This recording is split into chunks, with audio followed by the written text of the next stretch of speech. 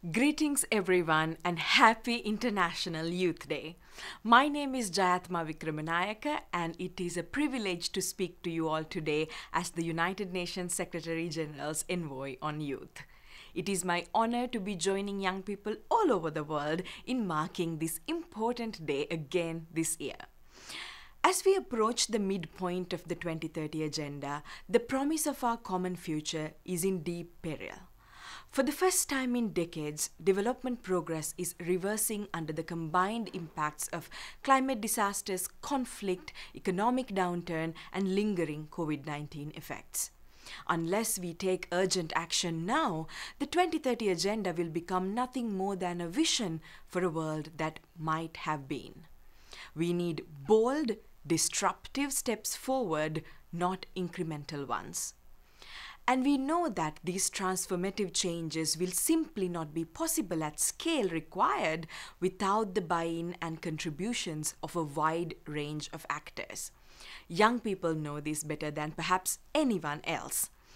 As current and future custodians of our planet, young people stand to lose the most if societies become more insecure and unequal, and if the triple planetary crisis continues unabated. Amidst the multifaceted crises facing our world, it is the world's 1.9 billion young people, time and time again, at the forefront of identifying innovative solutions that will secure the breakthroughs that our world urgently needs.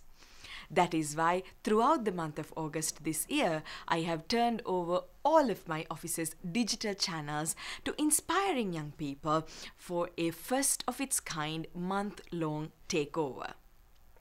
In their communities and around the world, young people have become a driving force for societal change through social mobilization, pushing for climate action, seeking racial justice, promoting gender equality, and demanding dignity for all. This is our chance to spotlight and elevate these stories, celebrating the diversity of ways youth lead as positive agents of change. From their unwavering optimism to their innovative solutions to their demonstrated perseverance in the face of adversity, young people remind us that there is still time to get the world back on track to achieve the SDGs. This is exactly the type of reminder our world needs most right now. And it is perhaps the voices and contributions of those young people who are most often left furthest behind that are needed the most, including young women and girls, young people with disabilities, indigenous youth, refugee and migrant youth, queer youth, among others.